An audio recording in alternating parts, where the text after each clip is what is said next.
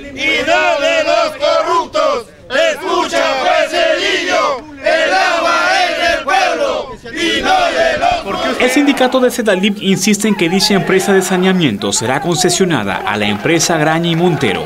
Por eso en horas de la noche realizaron un plantón en la Plaza de Armas. Esto es como referencia de que se va a privatizar Sedalip, por ejemplo.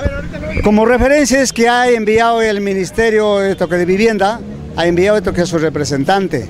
¿Para qué? Para que haga, eh, para que haga esto, que evaluación a la empresa. Los sindicalistas llegaron con la intención de reunirse con el gerente general del municipio trujillano, Ismael Iglesias, pero los dejaron plantados. Ahora denuncian una colusión entre el alcalde Elidio Espinosa y el director de Sedalil, Mario Reina. ¿Por qué ustedes, como dice Elidio y Reina, la misma corrupción? ¿Por qué hay esos indicios? No, eso es el, es el dicho, ¿no? Porque el, esto porque el esto porque el alcalde se está, esto que está coluyendo con, con los, esto con Mario Reina, que es, Espinosa? lógicamente, porque él como accionista mayoritario tiene la esto que la esto que la franca que es de se me que decirle hasta acá nomás estás tú y, y nombrar pues otro representante, ¿no? Horas antes, Elidio Espinosa refirió que la privatización es un argumento de sus detractores para desconocer al nuevo presidente del directorio, Humberto Flores.